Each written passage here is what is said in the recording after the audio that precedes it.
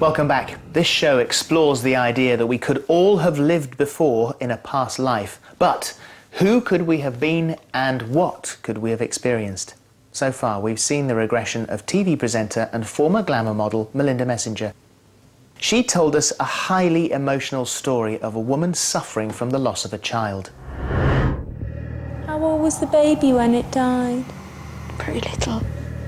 Was it sick or not sick? It was sick.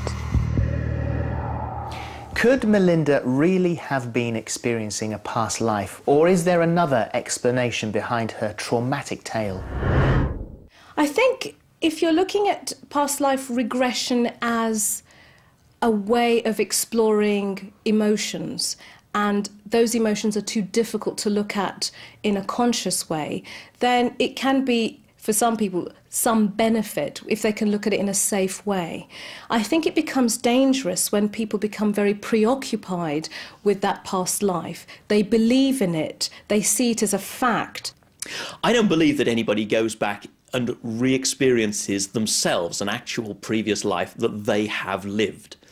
They may make up the whole details of the life. It may be someone who never existed. It may be a fictional character they've read about. It may be an actual historical character who they, they think themselves as living the life of.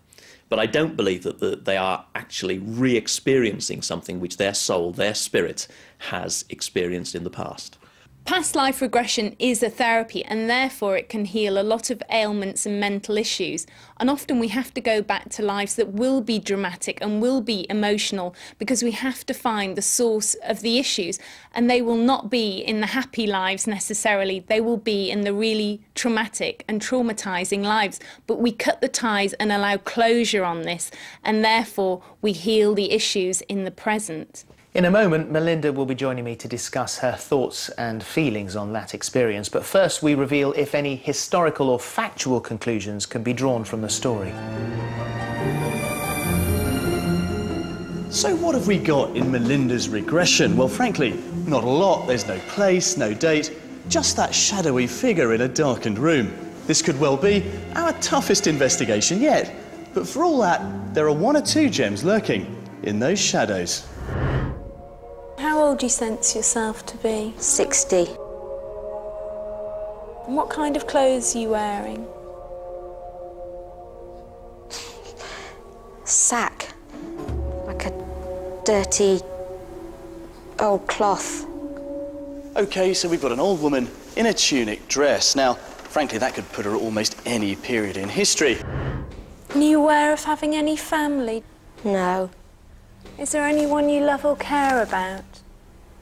No. What can you see now?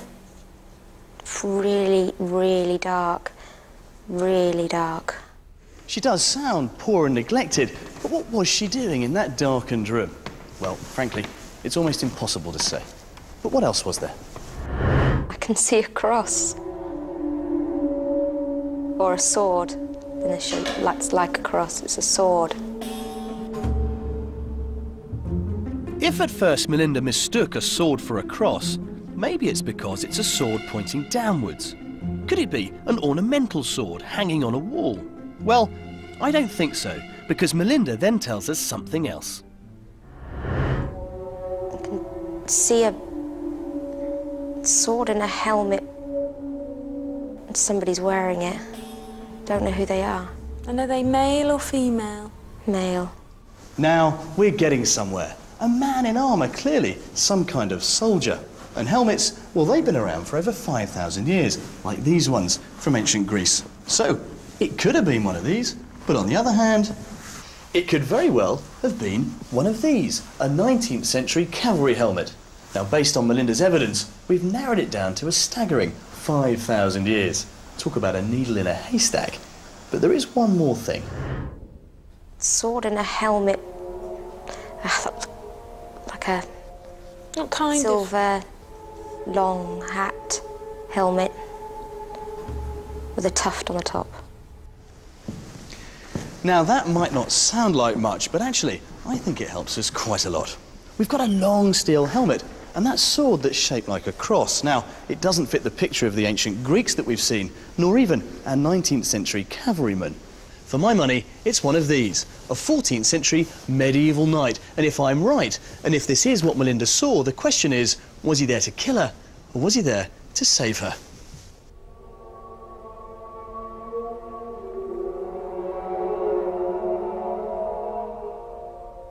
So, as you can see, you caused us no end of problems trying to track down who the woman might have been, why the knight was there. I've no idea um, about that period in history at all, but I don't know uh, if there was any kind of war on at that time or what the span of that war was or whether there was kind of the constant kind of um, sort of aggression going on. I really don't know. Is there anything that you feel that y- you might have um, been projecting back to her if it wasn't a past life? I thought about it and thought about it and really soul searched and really looked deep inside to think, okay, where is this element of me that this could have, I could have constructed this from? Um, and I genuinely cannot find it. And, and there was nowhere in my even imagination that, that I could have found this, this life. I think of all our um, regression stories, yours was the most emotional, the most traumatic, and, and in a way the most painful for, for us to watch. So you're all right. yes, I'm fine, but it's it is it's just so much to try and comprehend. To be honest with you, I wasn't I, I wasn't expecting anything this kind of, I guess, deep and real. Mm.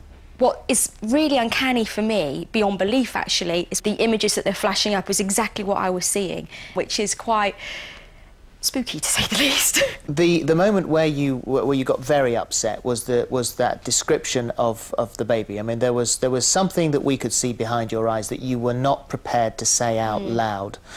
Do you have pictures of what you saw in, in, in your head, or did you shut that out I, completely? I shut that out. I, f- I felt I felt myself going there, and I felt myself experiencing that pain and that anguish, and then just completely pulling out. do you do you wish you had gone? I do now, I do, because it's kind of left there hanging and thinking, well, what did that mean? But it was just, I think it was just so much to deal with physically. It was a very real feeling. If it wasn't real, if I could have watched it from a distance, then I think I could have gone there. But because I was really feeling those emotions, I, kind of didn't want to go through it. It's just raised so many questions, and I'm really kind of gutted that I wasn't able to, to, to kind of dig up more information to kind of help put that picture together because I would like to know now.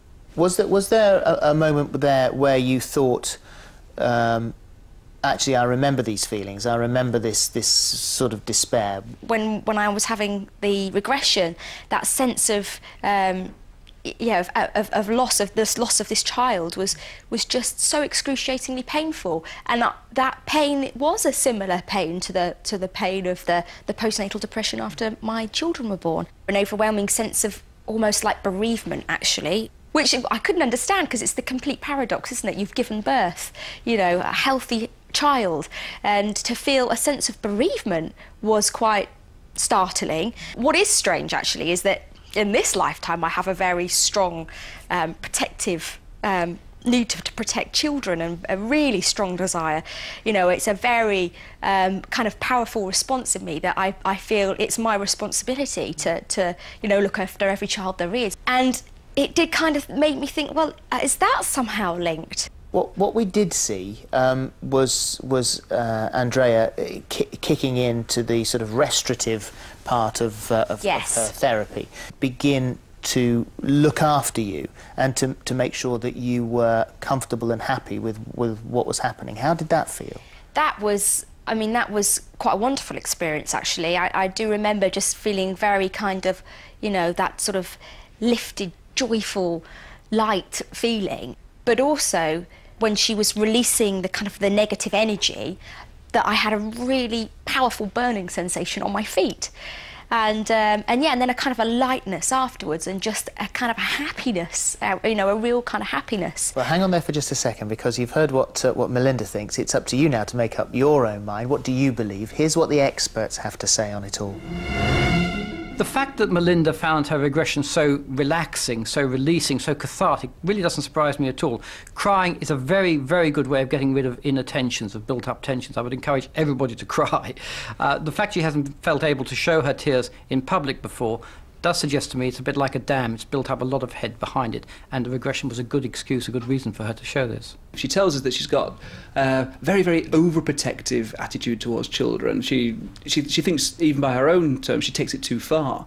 And yet, in the past life, she had this nightmare scenario where she's actually lost a baby. Now, that's kind of the worst thing that any mother could could think about. And yet, she's there and she's exploring that, and, and she's maybe not coming to terms with it, but she's at least finding out what it feels like.